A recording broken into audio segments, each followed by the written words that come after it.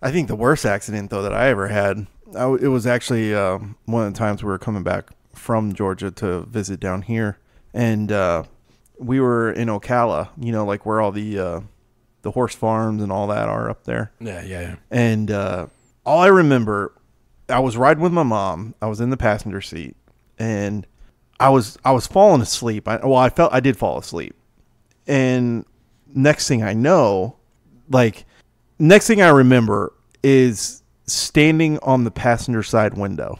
Shut the fuck up. That's the last. That's the that's the first thing I remember after the accident happened. So, and then I'm looking, I'm you know, because I'm I was sleeping, so I'm like freaking out, like what's going on, and I look up, my mom's hanging from her seatbelt. Shut the fuck up. No, no, no. How old are you?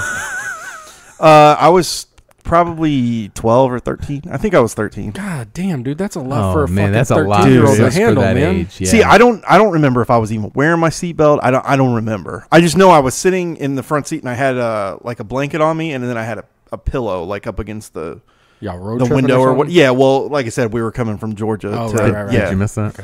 So, so, uh, so yeah. So, like I said, I, I all I remember is standing on the window and looking up as my mom's freaking out, and she's still in her seatbelt, but she's the car is laying on its passenger side. It had rolled over. Sure. So it's laying on the passenger side. I look up. She's freaking out. So of course I'm trying to get her out of the seatbelt because I'm like, I don't know if the car's on fire. I don't. I don't know what's going on because you know you see movies of cars like blowing up and shit. Right. Immediately after, well, no, So- you play Grand Theft so- Auto, dude. Is immediately when the car flips over, it blows up. So that's I no mean, matter what. So that's what I was thinking because I did see smoke coming out of the front. So I'm like, I'm like, all right, well, we got to get out of here.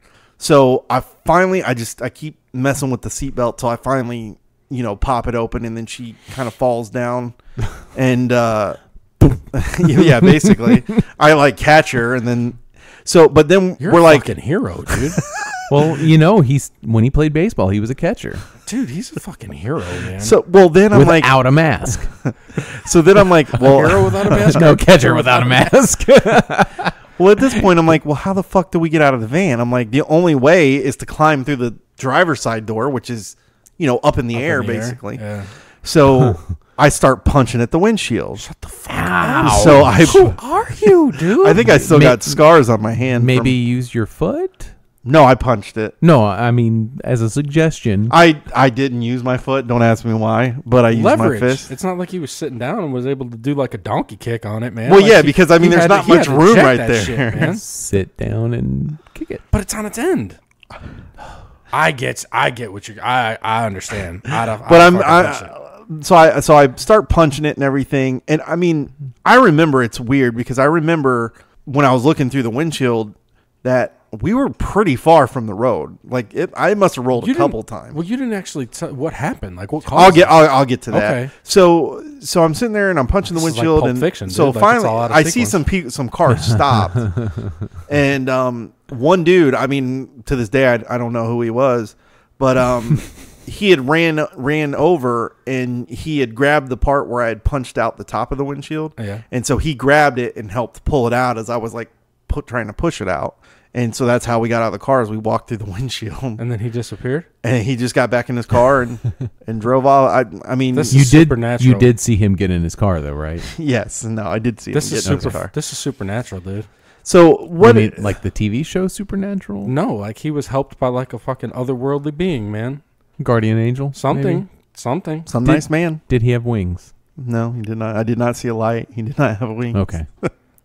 But uh, This is crazy, dude. Like, no, I got like goosebumps. Jay- dude, uh, Jason didn't tell me there was gonna be this intense fucking story tonight, dude. You're a hero. well, what what had happened was my mom said that when she was driving, the tire Blew the out. tire blew out. yeah. Well, what you should do when your tire blows out is don't hit the brake and you just ride the ride the lane as long as nobody's like in right in front of you. Just take your foot off the brake and the gas and just ride it out till it slows down enough till you can then pull over and then apply the brake to stop it. She freaked out and jerked the wheel. So she, yeah, what she immediately went to do was apply the brake and pull over to the side of the road, like you would if you're just normally pulling to the side of the road. But Yeah.